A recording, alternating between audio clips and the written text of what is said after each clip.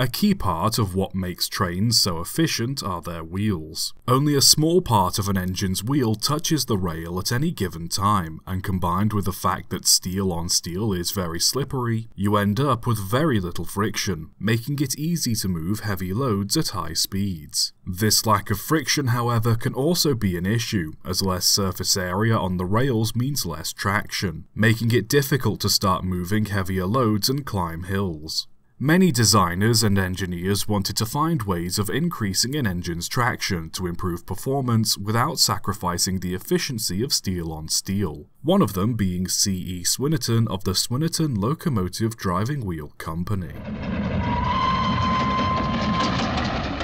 His idea was to create a wheel that wasn't round, but polygonal, the idea being that because each side of the shape was flat, it would provide more contact between wheel and rail than a circular one, and thus more traction. Confident in the idea, Swinerton's company ordered a 422 locomotive from the Hinkley Locomotive Works of Boston in 1887, fitted with a set of 5 foot 6 inch polygonal wheels. Most modern sources say that each wheel had 118 sides, each about 2 inches long, while an issue of Scientific American from 1890 states that the wheels had 210 sides, each 1 inch in length. Regardless, they spared no expense as the engine was also fitted with Westinghouse automatic and vacuum brakes, a water scoop, and steam heating equipment for passenger carriages. A pneumatic cylinder and lever was also fitted to the driving wheels, which would allow the footplate crew to increase the amount of weight placed upon them to further increase tractive effort.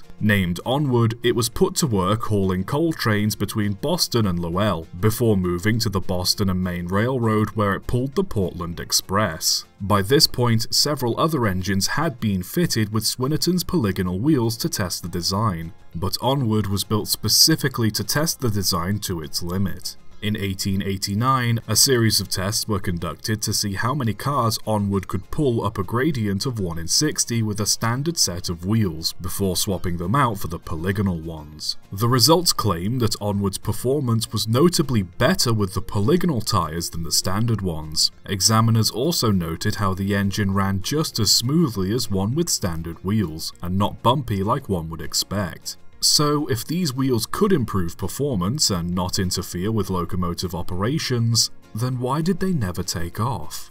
Well, the simplest answer is cost and maintenance. The tyres on many steam locomotives required frequent servicing and replacement as a result of wear and tear, but could be easily turned on a lathe to correct any issues.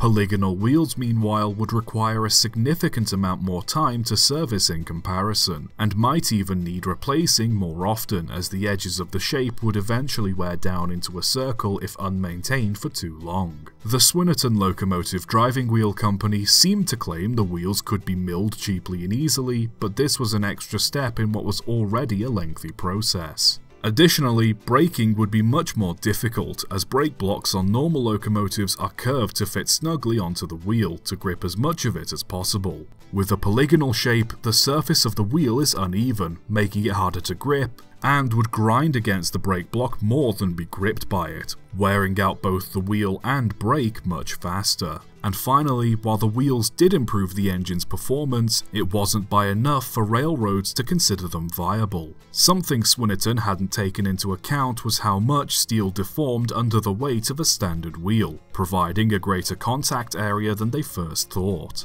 What likely didn't help was Onward itself, both single drivers and American style engines were long out of date when it was built. Most railroads likely saw Onward as an improved version of an outdated design and didn't think much more of it despite it proving to be nearly as powerful as a standard 440. In the end, Swinerton tried selling the design for use on streetcars, but got nowhere though it's worth noting the cast iron wheels produced by the Lobdell Wheel Company were made with treads similar to Swinerton's design. Onward itself was eventually sold to the Portland and Rochester Railroad after being fitted with a standard set of wheels. It was later sent to the Manchester Locomotive Works and converted into a 440 before finally being retired and scrapped in 1905. Swinerton's polygonal wheels then are a fascinating story. While they genuinely seem to increase the performance of locomotives, the interest simply wasn't there to make them a success.